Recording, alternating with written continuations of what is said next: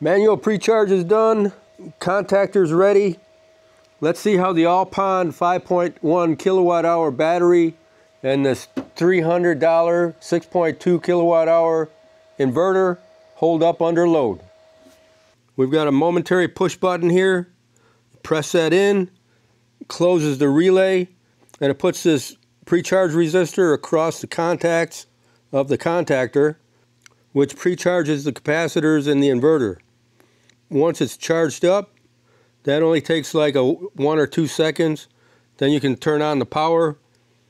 Contacts close on the contactor and the inverter's got power.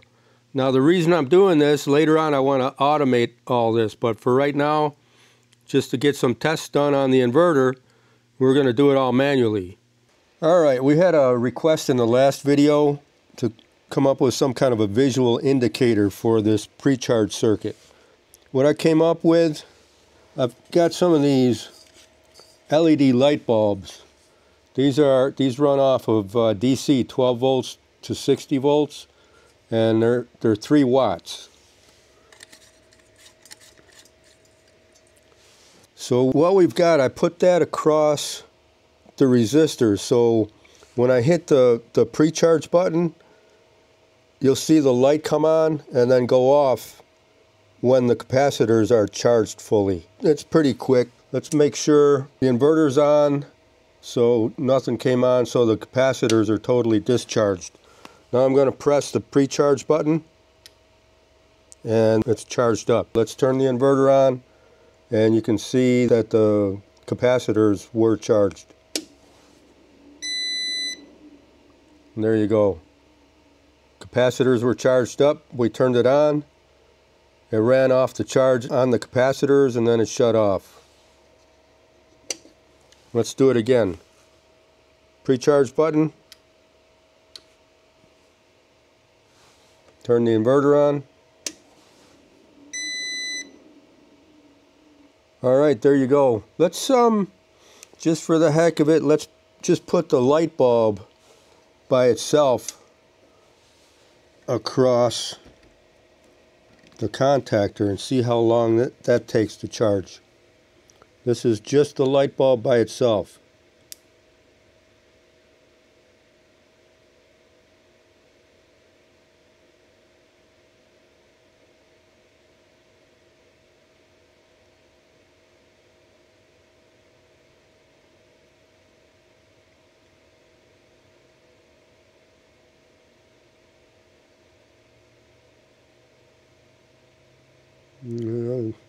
There you go, that's about out.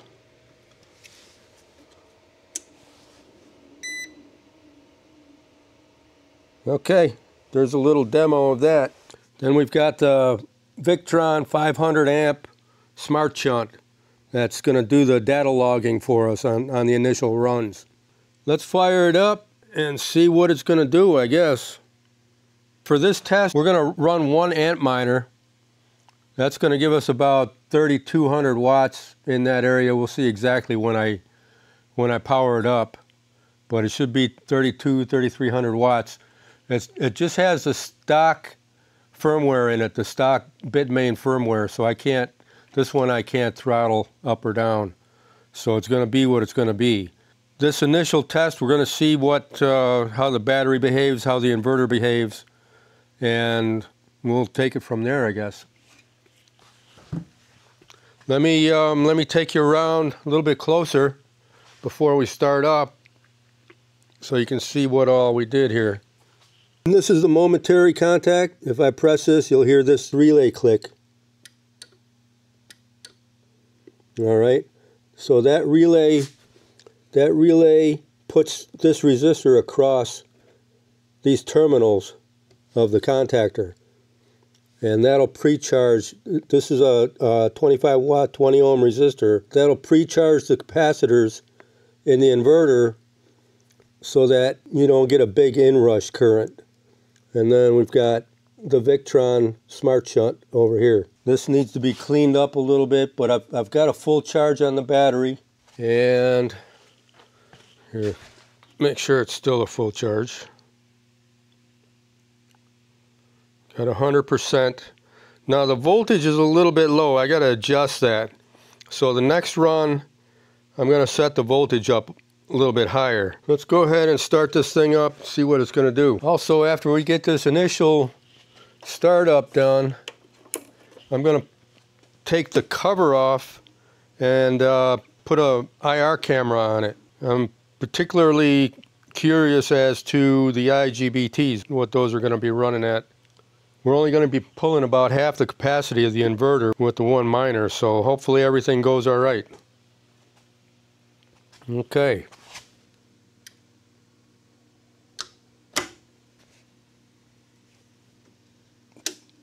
Power up.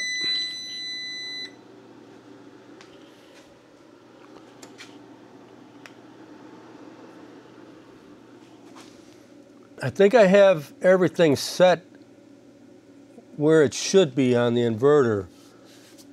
I adjusted it up to 240. It was at 230. You can set it at 220, 230, or 240. And the higher the voltage, the more the more efficient it's going to run. So um, I cranked it all the way up. Okay.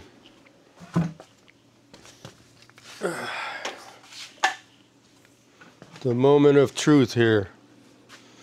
We've got 1.2 amps of idle current here right now. Let's, um, I'm going to put a couple clamp meters and check voltages too as we go along here.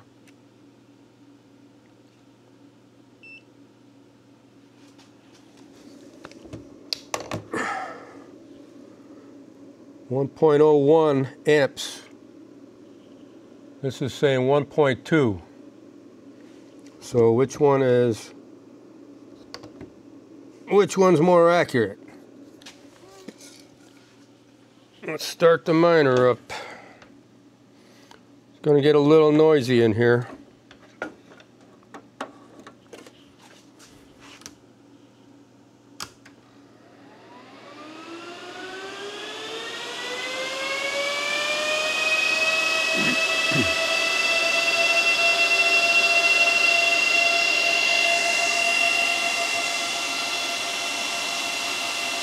3.5 amps so far. 155 watts.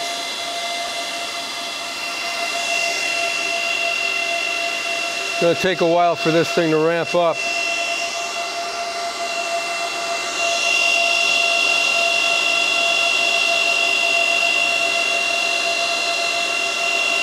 Three point six amps out of the battery.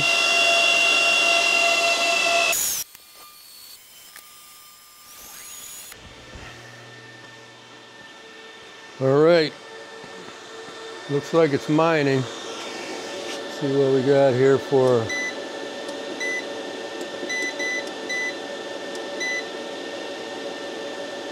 Three point one five kilowatts it's drawing.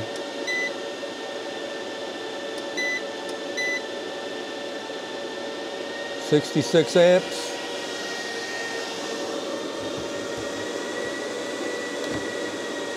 That says 65.3 amps, so we're pretty close. This says 67 amps. All right, we're at 66 over there, 67 there.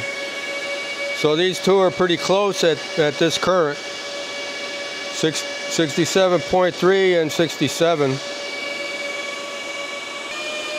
Says 97%. And according to this, one hour 26 minutes to empty.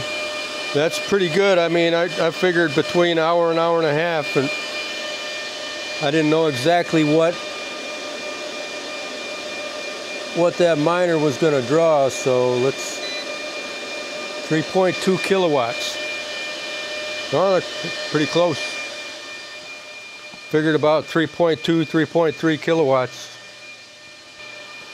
The Victron Smart Shunt is saying, I don't know if you can read that, 3,420 watts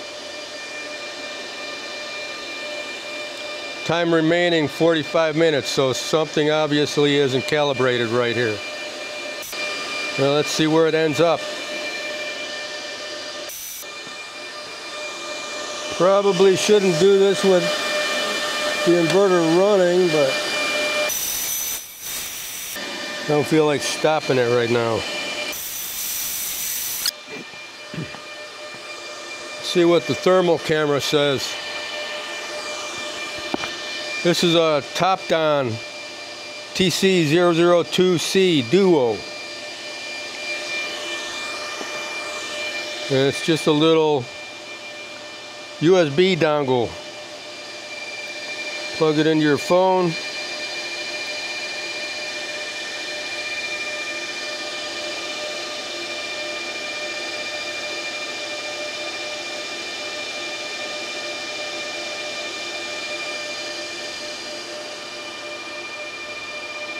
There's the inverter.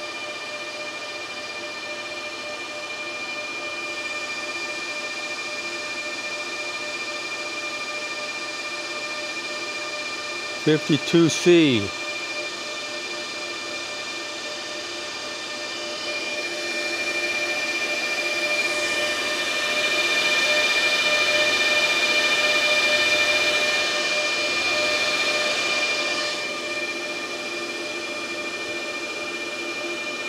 having a little problem because of this plastic here. Some resistors up on top there.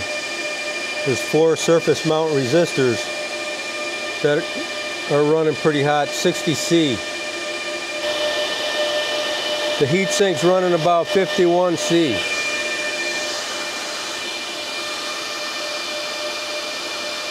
I can't get a good reading on uh, the IGBTs, maybe through here.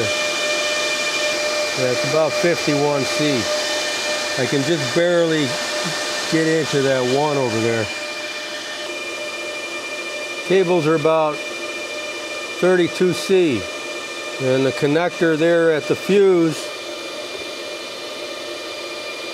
is 38C. 35 on the top one.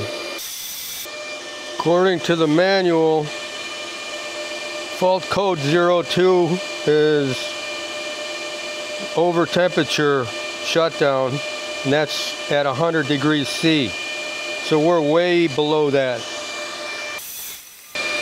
Those two toroidal coils are at 44.7 C. The top IGBT still at 55 C. I guess she's going to hang right about there. The electrolytic capacitors are cold. So I would say so far she's doing pretty good. According to this, one hour, 10 minutes to empty. Still drawing 65.7 amps down here. This is saying 67 amps out of the battery, according to the BMS. I think you might be able to see that display from there. If I get too close, it gets uh, blurry. 55.3 on that first IGBT still.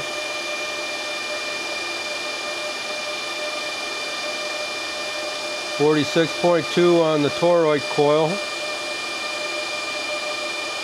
Forty-nine on the other one. Fifty 50 on the other one.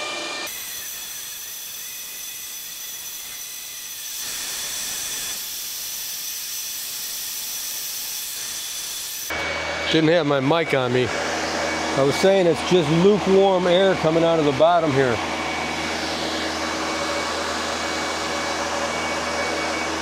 We got 14 amps at 240 volts. So According to that, it's about 3,300 watts. This says we're halfway done, 55% discharge. We got 49 minutes left to empty. Current still at 66, voltage 51.69.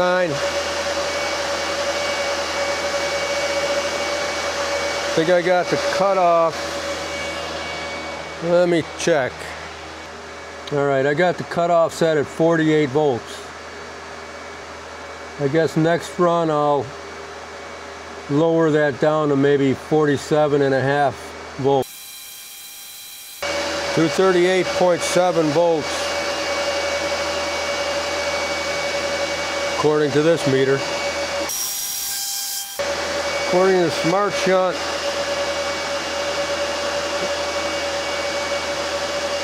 we used 2.7 kilowatt hours so far. We've got 43 minutes left to empty.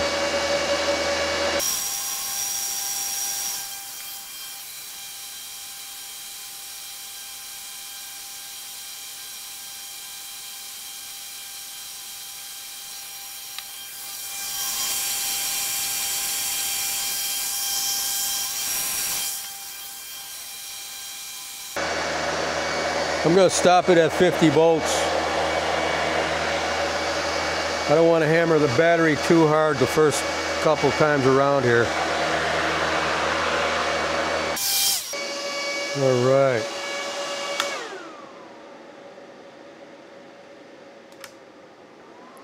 Let the miner cool off a little bit. I would say that was a successful run. Had no issues at all running one S19. I guess the next test will be two of them. All right, guys. Well, this was a long, boring one. Hope you enjoyed it. I guess I'll uh, I'll see you on the next one. Have a good one. Adios.